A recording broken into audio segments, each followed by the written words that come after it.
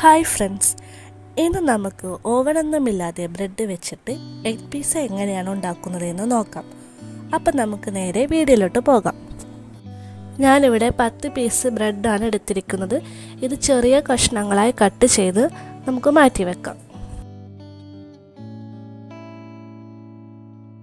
ഒരു ബൗളിലേക്ക് നാല് മുട്ട പൊട്ടിച്ചൊഴിക്കുക. ഇനി ഇതിലേക്ക് ഒരു ടേബിൾ സ്പൂൺ പഞ്ചസാരയും അതിനോടൊപ്പം ഉപ്പും അര ടീസ്പൂൺ കുരുമുളക് പൊടിയും കാൽ ടീസ്പൂൺ ഉണക്കമുളക് ചതച്ചതും അര ഗ്ലാസ് പാലും ചേർത്ത് കൊടുക്കുക.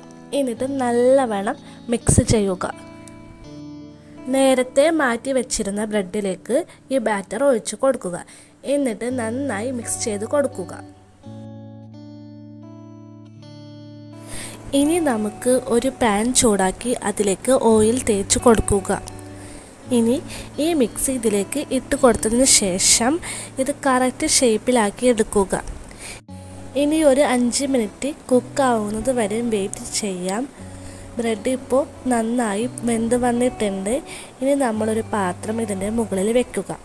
അതിനുശേഷം ഇത് പാത്രത്തിലേക്ക് ഒന്ന് തിരിച്ചിടുക.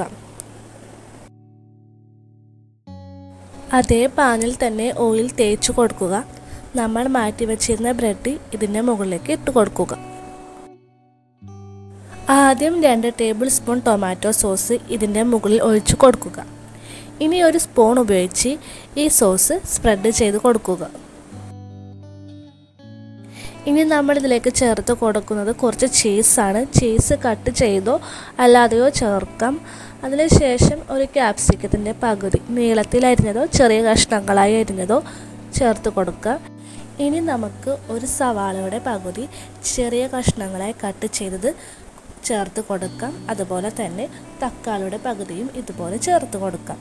എന്നിട്ട് ഒരു അഞ്ച് മിനിറ്റ് ഇത് പാകമാവാൻ വെയിറ്റ് ചെയ്യാം.